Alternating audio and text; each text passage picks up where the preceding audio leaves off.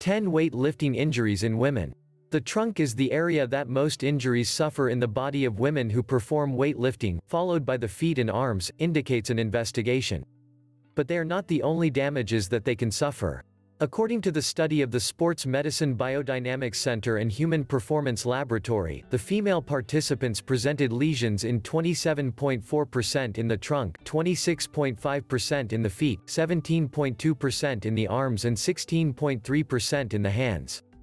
The injuries caused by lifting weights usually derive from poor performance or excessive exercise.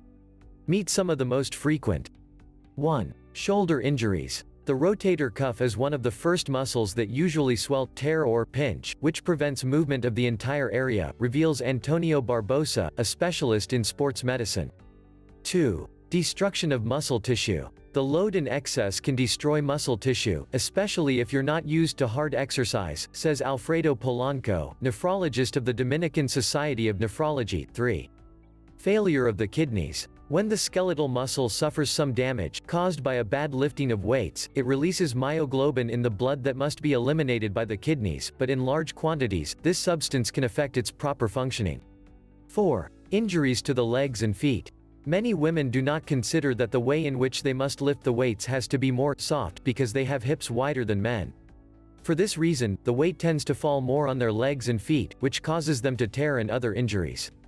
5. Overload on the back. Suffering spondylolysis, a type of overload fracture in the back, is one of the harms that weightlifting can cause, especially in middle-aged people and women.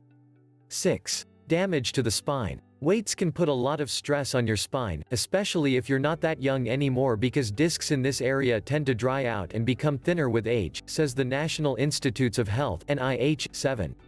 Twists. The rigidity of the muscles when they are cold causes sprains, therefore it is essential to perform a previous warm-up that increases blood circulation and improves the range of motion, says Morey Kolber, professor of physical therapy at Nova Southeastern University.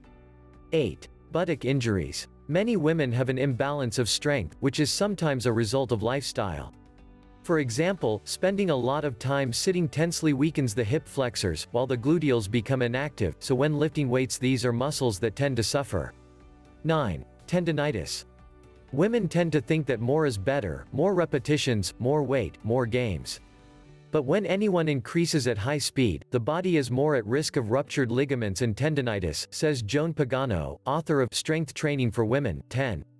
Sprains and strains. The first involves stretched ligaments or tears in the back, while strains affect torn muscles or tendons. In both cases, pain, swelling and difficulty moving are common symptoms. Performing weight lifting properly involves executing a warm-up for 15 minutes. As well as having the correct posture, which implies a straight position of the back, balancing the weight between both legs or arms and contracting the abdominals. To know more weight loss tips, download my book free by clicking the book image on the right or the link in the description below and please subscribe to this channel and share this video.